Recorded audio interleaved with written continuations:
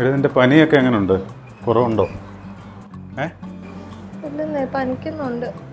തലവേദന ഉണ്ട് ആ ഒരു കാര്യം ചെയ്താലോ? നമുക്ക് ആശുപത്രിയിലങ്ങ് പോവാം. ഓ വേണ്ട. അവിടെ പോയ കുറെ ആന്റിബയോട്ടിക്കും കഴിക്കണം. എന്നെ കൊണ്ടുപോയി. മമ്മിയെ കാണിക്കുന്ന ഒരു ഹോമിയോ ഡോക്ടറല്ലേ? നല്ല ഡോക്ടറാ. അവരെ പോയി കണ്ടാലോ? എന്നാ പോവാ അല്ലേ? അല്ലെ പിന്നെ ശരിയാവത്തില്ല. വയ്യ. എന്നാ ഒരു കാര്യം ചെയ്യും റെഡിയാകും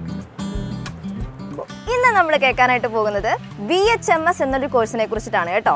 നിങ്ങൾ ആരെങ്കിലും കേട്ടിട്ടുണ്ടോ ബി എച്ച് എം എസ് എന്നൊരു കോഴ്സ് കേൾക്കുമ്പോൾ നമുക്ക് അത്ര പരിചയമില്ല എന്ന് തോന്നിയാലും നമുക്ക് എല്ലാവർക്കും അറിയാവുന്ന ഒരു കരിയറാണ് കേട്ടോ അത്.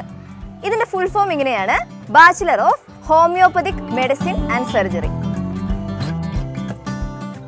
ഇപ്പൊ നിങ്ങൾക്ക് മനസ്സിലായില്ലേ അത് എന്തിനുള്ള കോഴ്സാണെന്ന് നമ്മുടെ അലോപ്പതിക് ഡോക്ടേഴ്സിനെ പോലെ ഹോമിയോ ഡോക്ടേഴ്സ് ആവാൻ വേണ്ടിയിട്ടുള്ള കോഴ്സാണിത് ബി എച്ച് എം എസ് അപ്പോൾ നിങ്ങൾക്ക് ഹോമിയോപ്പതിക് ഡോക്ടേഴ്സ് ആവാനായിട്ടാണ് താല്പര്യമെങ്കിൽ നിങ്ങൾ ചെയ്യേണ്ട course B H M S ആണ്. ഇനി ഒരു ഹോമിയോ ഡോക്ടർ ആകണമെങ്കിൽ നിങ്ങൾക്ക് വേണ്ട മിനിമം ക്വാളിഫിക്കേഷൻ എന്താണ്? പ്ലസ് ടുവിൽ ഫിസിക്സ് കെമിസ്ട്രി ബയോളജിയിൽ നിങ്ങൾക്ക് ഫിഫ്റ്റി പെർസെന്റേജ് മാർക്കും അതോടൊപ്പം നീറ്റ് എക്സാം നിങ്ങൾ ക്രാക്ക് ചെയ്യുകയും ചെയ്യുകയാണെങ്കിൽ ബി എച്ച് എം എസിന് അഡ്മിഷൻ കിട്ടാനായിട്ട് പറ്റും. നാലര വർഷത്തെ കോഴ്സാണ് ഇത്.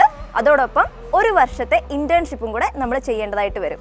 നമുക്ക് എല്ലാവർക്കും അറിയാവുന്നതുപോലെ അലോപ്പതി പോലെ തന്നെ ഇമ്പോർട്ടന്റും അതുപോലെ തന്നെ കരിയർ ഓപ്പർച്യൂണിറ്റീസ് ഉള്ളതുമായിട്ടുള്ള ഒരു കോഴ്സ് തന്നെയാണ് ബി എച്ച് എം എസ് ഇനി നമുക്ക് ബി എച്ച് എം എസിന്റെ മറ്റ് കരിയർ ഓപ്ഷൻസ് ഒന്ന് നോക്കിയാലോ.